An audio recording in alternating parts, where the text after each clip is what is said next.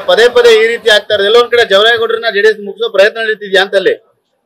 JDS ಮುಗಿಸೋದು, ಜವರಾಯಗೌಡರು ಮುಗಿಸೋ ಪ್ರಯತ್ನ ಏನು ಮಹಾಜನತೆ ಮುಗಿಸ್ಬೇಕೇ ವಿನಃ ಸೋಮಶೇಖರ್ ಅವ್ರ ಕೈಯಿಂದ ಏನು ಮುಗಿಸಕ ಸಾಧ್ಯ ಇಲ್ಲ.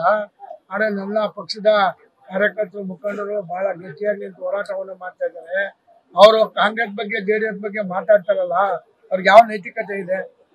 ಅವರು ಎರಡ್ ಸಾವಿರದ ಹದಿಮೂರರಲ್ಲಿ ಇದೇ ಕಾರ್ಯ ಕಾಂಗ್ರೆಸ್ ಕಾರ್ಯಕರ್ತರು ಸ್ವಂತ ಹಣ ಹಾಕಿ ಭಿಕ್ಷೆ ಬೇಡಿ ಇವ್ರನ್ನ ಆಯ್ಕೆ ಮಾಡೋದು ಮೂರ್ ಸರಿ ಸೋತಾರೆ ಅಂತ.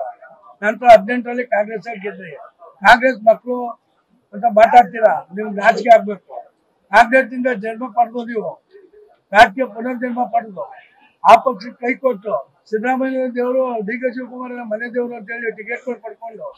ನೀವು ಗೆಲ್ತಾರೆ ಗೆದ್ದು. ಕೊನೆಗೆ ಮಾರಾಟವಾಗಿ ಬಿಜೆಪಿಗೆ ಹೋದ್ರಿ. ನಿಮ್ಗೆ ಯಾವ ನೈತಿಕತೆ ಇದೆ? ಯಾವ ನೈತಿಕತೆ ಇದೆ? ನೈತಿಕತೆ ಇದೆ ಮಾತಾಡೋಕೆ ನಿಮ್ಗೆ ಇದಿದ್ಯಾ?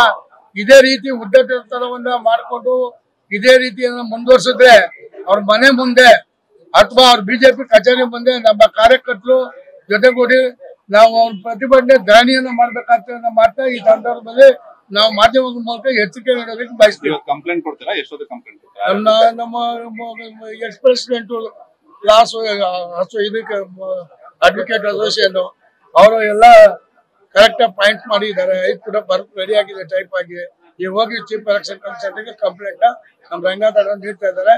ಅದು ಅವ್ರ ಬೆಂಬಲವಾಗಿ ನಾವೆಲ್ಲ ನಿಲ್ತೀವಿ ಎಸ್ ಸರ್ ನ್ಯೂಸ್ ಫಸ್ಟ್ ಪ್ರತಿಕ್ಷಣ